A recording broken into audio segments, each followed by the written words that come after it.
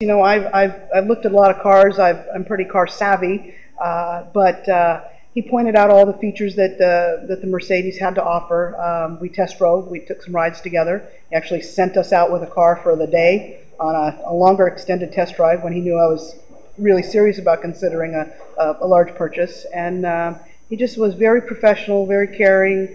He made the experience uh, very positive. That's why I'm here to endorse the, the dealership and the salesman in particular. Um, the sales experience has been top notch. And so is the service experience as well.